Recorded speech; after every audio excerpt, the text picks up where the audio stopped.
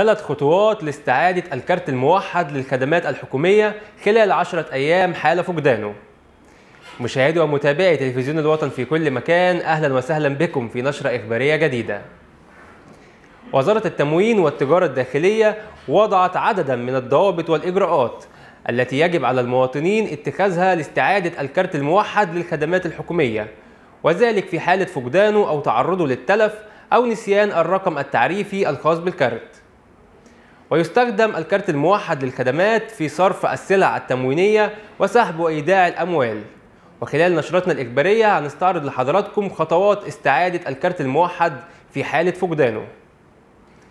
أولا يتم الإبلاغ بشكل فوري عن طريق الاتصال بالخط الساخن لمنصة مصر الرقمية على رقم 15 3 تسعات.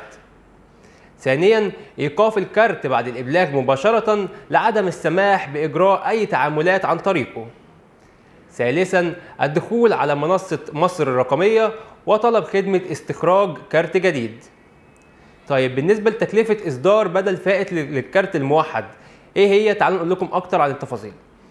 وزارة التموين والتجارة الداخلية أعلنت أنه في حالة فقدان الكارت الموحد أو سرقته أو تلفه يتحمل صاحب الكارت مصاريف إصدار الكارت البديل وتبلغ تكلفة إصداره 300 جنيه. ويتم إعادة طباعة وإصدار الكارت الجديد خلال 10 أيام فقط.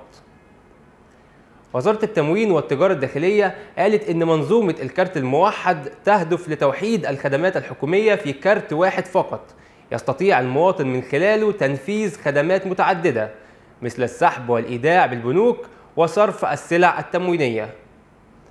وزارة التموين والتجارة الداخلية وجهت كمان رسالة هامة للمواطنين بشأن الكارت الموحد والبطاقات التموينية تمثلت في أن تطبيق الكارت الموحد لا يلغي البطاقات التموينية حيث تم تطبيق منظومة الكارت الموحد بشكل رسمي في محافظة بورسعيد وذلك لصرف المقررات التموينية والعيش البلدي على أن يتم سريان استخدام البطاقات التموينية كالمعتاد طيب أهم المعلومات عن الكارت الموحد إيه؟ الكارت الموحد منها سحب وإيداع الأموال ويستخدم في صرف السلع التموينية والخبز لمن حصل على الكارت.